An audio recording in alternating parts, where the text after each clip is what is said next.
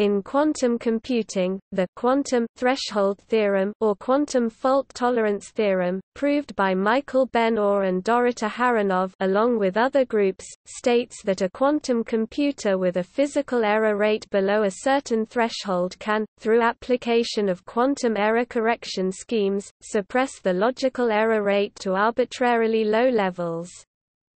Current estimates put the threshold for the surface code on the order of 1%, though estimates range widely and are difficult to calculate due to the exponential difficulty of simulating large quantum systems.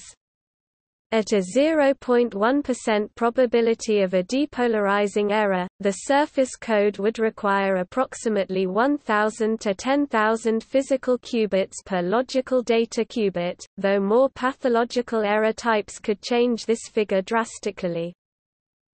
According to leading quantum information theorist Scott Aaronson, the entire content of the threshold theorem is that you're correcting errors faster than they're created, that's the whole point, and the whole non-trivial thing that the theorem shows.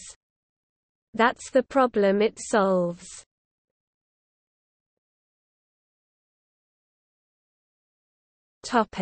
See also. Quantum error correction schemes. Physical and logical qubits.